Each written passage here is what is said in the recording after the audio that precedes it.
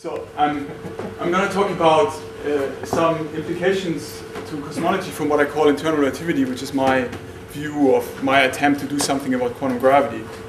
Um, so, so the starting point is sort of, is, is sort of uh, goes back to the, to the, early days of special relativity.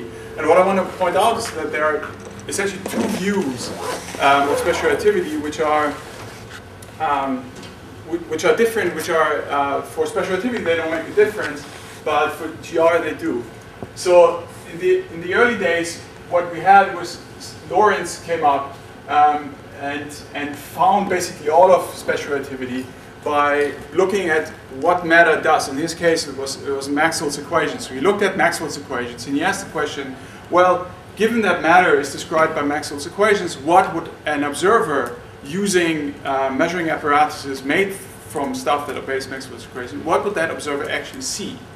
And he found all these things, time dilation, time um, um, uh, length contractions, and all these things, which is why we call it Lorentz contractions and stuff like that. He found all these things.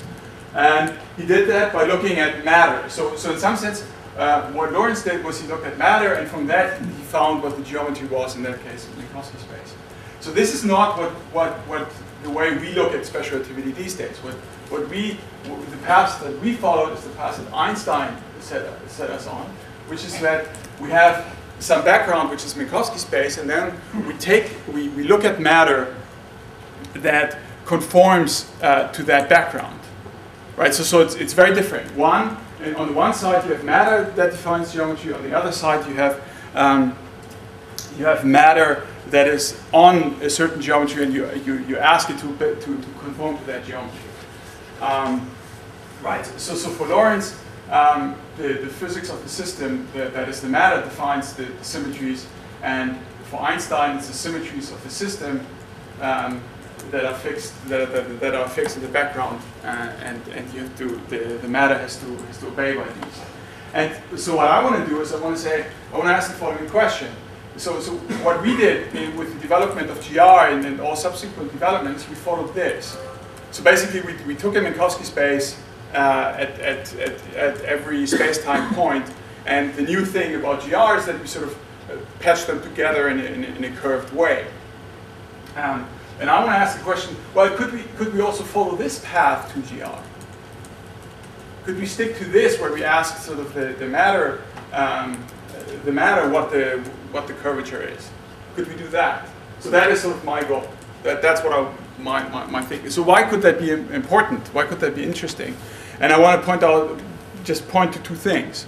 So the first thing is the, this cosmological constant problem, um, which immediately get, has to be seen in a different light if you follow this other path. So, so in, if, you, if you look at sort of the standard way that it is presented, then what you find is sort of this way. You see the matter which is on top of, of, of space-time, which is the sort of the Einstein way of looking at it. And so, so you add up all these, these zero point fluctuation and you get this huge number and, and it's a mess. Um, and that, so, so that, if you, if, you, if you follow that argument, you see that it is absolutely necessary for that, that you have this picture that matter is on space-time, and then you have to ask the question, well, what happens to the zero point fluctuations? Don't they do something?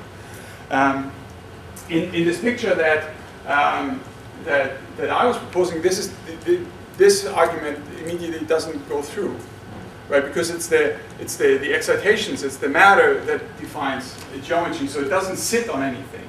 So this kind of image that you have when you do your calculation is disappears. So that's the first point I want to make. And the second point I want to make is is uh, is, is, an application to um, to cosmology. Um, so the the point is this that if geometry is defined by matter, and matter can emerge in something like a phase transition, so think of a spin model or something like that, and you have the excitations emerging in some, uh, in some phase transition, then what follows if you put these two things together is that geometry can emerge in the phase transition. And again, this is not possible in the, in the, uh, in the Einstein point of view, because you, just to formulate what matter is, you need to have the space-time that, right? Because that's, that's where it sits on. So the question is, uh, why is that? Why could that be interesting? And so this is the picture I have. So you have some phase, um, then you have phase transition, and you have the, the, the, the stuff emerging, And it's this stuff that defines the geometry. So these things you can think of as this sort of light cones. So why is that interesting? It can potentially tell you something about things like the horizon problem. Um, so, so we have this horizon problem, and the way one could see that in, in, in, in this, in, this theory is that um, you get the horizon problem because you are taking the, the causality that we have around us now and you apply it to regions where it doesn't, where it doesn't uh, work yet. So you apply it for regions before the phase transition. So since, since in, the, in, this, in this region, this, this causality given by these excitations doesn't, uh, doesn't apply. The, this causality that we know, that we sort of see from here as observers sitting here, doesn't apply here. So the, the fact that you see correlations here is, is, not, a, is not a big mystery anymore in this, in this case. Um, so the question then, of course, um, yeah, that's what I said. So the question then, of course, is do you, do you, get the right spectrum? And you have to be sort of a bit, a bit fast. Um, so, so you want to calculate the, the, uh, the spectrum of the, of the, grav uh, of, um, the, the, the, scalar gravitational uh, of, sorry, the, the gravitational fluctuation. That's what you want to calculate, and so you need you need some some connection. And I don't have time to argue that that there's a connection between between phi, the the, um, the scalar gravitational potential, and and the order parameter in my in my in my model. Um, so since that connection is there, what you have to what you have to do is you have to calculate the spectrum of fluctuation of that order parameter, and that can be done. And what you find is that you, you do find uh, a scale-free spectrum, but the question is, can you do better than that? Can you can you find more? Because we, we, we know that it's not just a scale-free spectrum, but there's sort of this tilt in it. And there's some intriguing thing which which unfortunately doesn't. So there's so, so if you look at the, the um, um, at the fluctuations of, of this order parameter, the real thing always contains one of these critical exponents. And if you look at the critical exponents, what value it has, it always has a value that is very close to the, to the tilt that is actually seen. Right? So, so if you look at the, the tilt of the, uh, of the spectrum, it's always of this order. And the point is that these things, um, this order of, of for, this, for this critical exponent is always the same. So, so if you do a theoretical calculation and an experiment, it's always in this region that you need.